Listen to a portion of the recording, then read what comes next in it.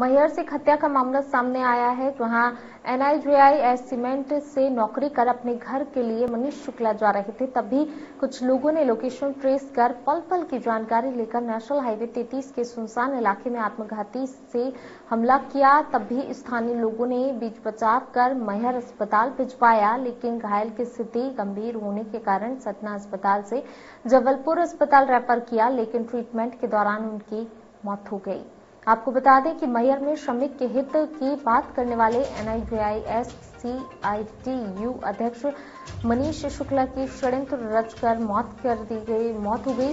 वहीं पहले भी स्वर्गीय श्री रमेश तिवारी उनतीस मई उन्नीस में इसी तरह से मौत की घाट उतारा था। अब एनआईजीआईएससीआईटीयू अध्यक्ष मनीष शुक्ला की ट्रीटमेंट के दौरान जबलपुर में मौत हो गई।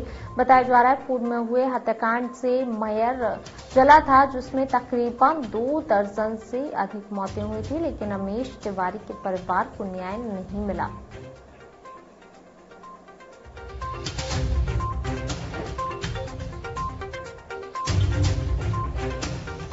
घटना हुई थी फैक्ट्री से निकलते, निकलने के बाद।